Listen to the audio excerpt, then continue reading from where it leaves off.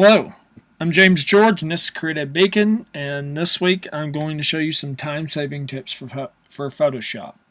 So when you're working in Photoshop uh, you usually charge by the hour and so the concept is the more work that you can do in an hour the more money you'll make overall and so that's why I'm going to show you these tips so that you can save you know you'd be amazed at how much uh, time you could save by saving a few seconds here, a few seconds there. Plus, it uh, cuts down on your frustration and the repetitiveness of having to go to this menu and do that, and you know, just all that stuff. So, you can save time by uh, double clicking this menu here and then using the up and down arrow keys to cycle through text. Before you had to use the shift key, but now you don't have to do that anymore. You could just uh, double click to highlight your text, double click to highlight this uh, little uh, text or font option here up in the top option menu, and then just use your up and down arrow keys to select the font that you want. So, you know, you can see that you can uh, cycle through uh, quickly to find what you're looking for. And, you know, you can, so let's say that you want to stop on that. Okay, now this is a good example for uh, one of the other uh, tricks I'm going to show you is if you want to uh, kern your text, place your cursor uh, between the two letters that you want to fix. Hold down the Alt key and use the left and right arrows to add and subtract space. And so you can kern your type quickly without uh, having to go into uh, the character panel over here and try to do it that way. That is that is not the way you want to go. And so you can really just hone your type and give it uh, tight tight spacing or uh, loose spacing depending on uh, the look that you're going for. And so this is uh, that's another way that you can save time. If you have your text selected if you want to uh, enlarge it or um, decrease the size of the text. This is what you do. You hold down Command or Control on the PC, Alt or Option. So those those two together, Command or Control, or Alt, uh, uh, Control and Option. You know those those two keys. Shift, and then on your keyboard you should see uh, right after the M you see the greater than and less than symbols. It, um, you just use either one of those. It's sort of like the the brush tool which I'll show you a trick with that here in a second. But um, you can just enlarge or lower the typeface with those two keys. Makes it really easy. So let's say that you were zoomed in really far. So, so let's say that you were zoomed in working on something. And uh, just a little tip for you, if you're zoomed in and you want to, you don't want to have to switch to the hand tool.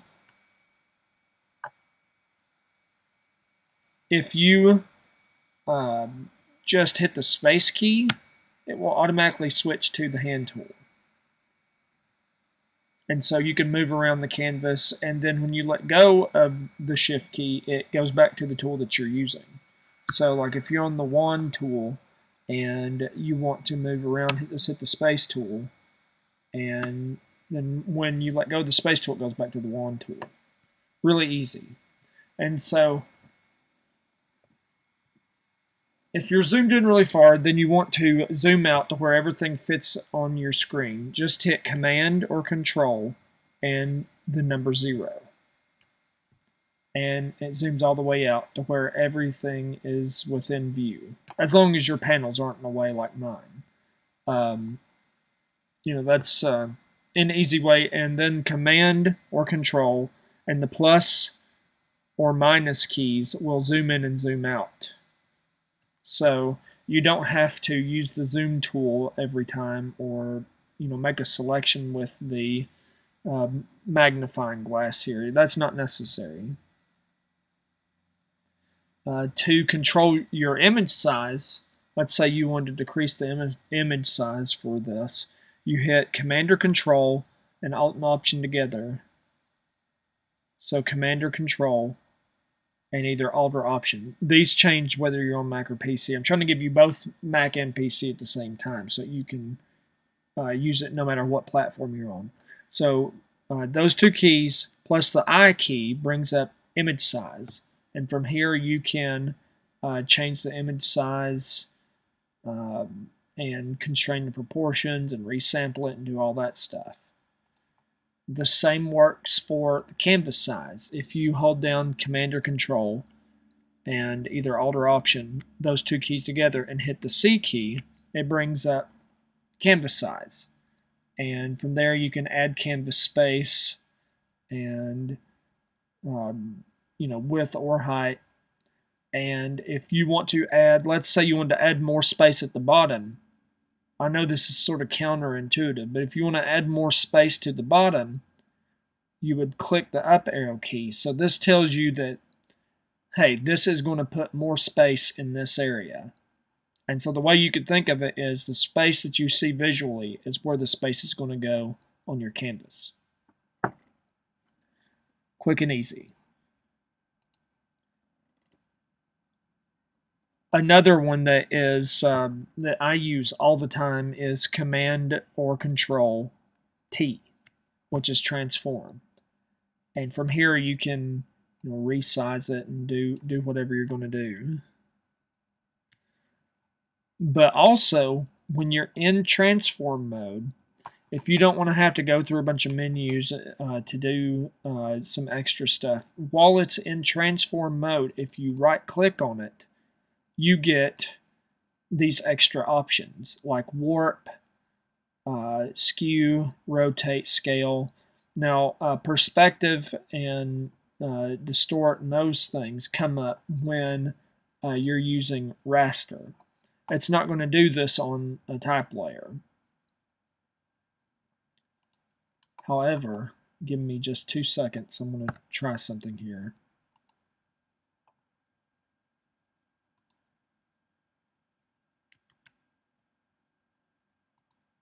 Okay, now the way that you could keep your type editable while uh, warping it or distorting it, this is a little uh, quick tip for you, is when um, you want to keep your text editable, uh, convert it to a smart object, then apply the transform to it.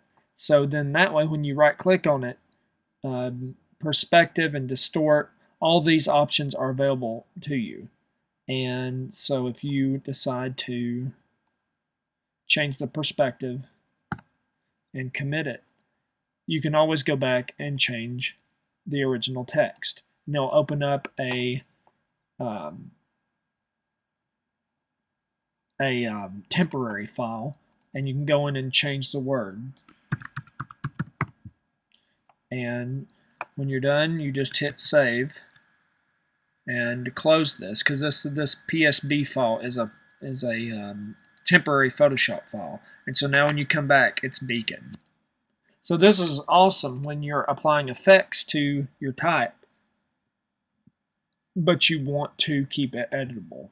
And so this will save you a ton of time, especially if you have clients that come back and say, I want to change the wording of this from industry to company or something, you know, these little changes. But then if you've rasterized your design, you have to go back and basically redo it. And you're ready to throw your client out the window. I'm kidding. Don't throw your client out the window. But if you've set your Photoshop file up uh, properly using uh, smart objects, you can just go back and edit the text and the effect will still be applied to it. And it'll look great, and you just saved uh, time and frustration of having to go back and do it. Now, some quote unquote underhanded designers may uh, still go ahead and charge for a full uh, redo of the project, which I, I wouldn't do. That's unethical. But um, I personally, I don't like having to go back and redo my work. And so this saves me a lot of time and frustration from having to do that.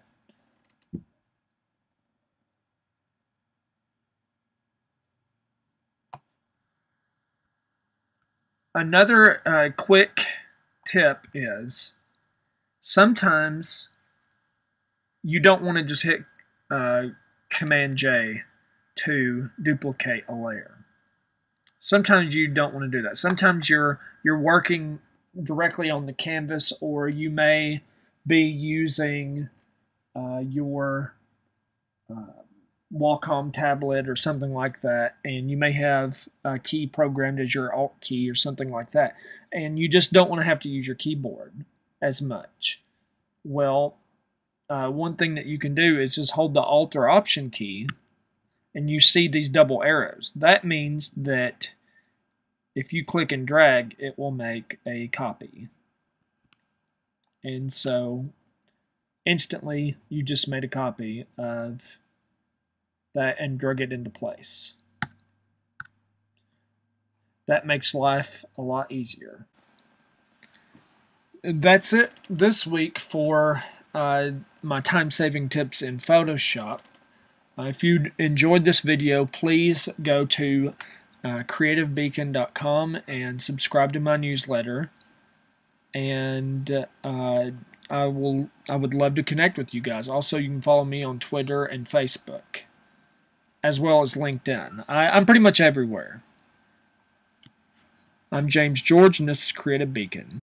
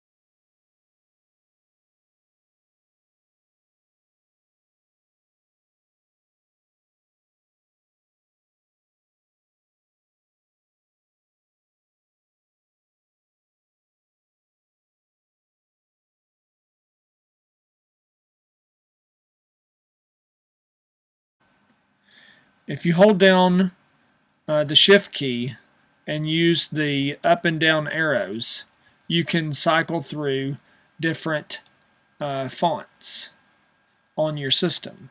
And so this makes it really easy for you to uh, you know, preview the different fonts that you're going to use.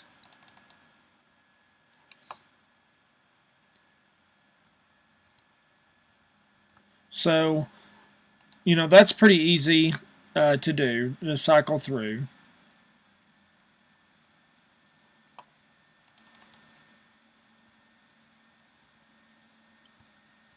You can see that uh,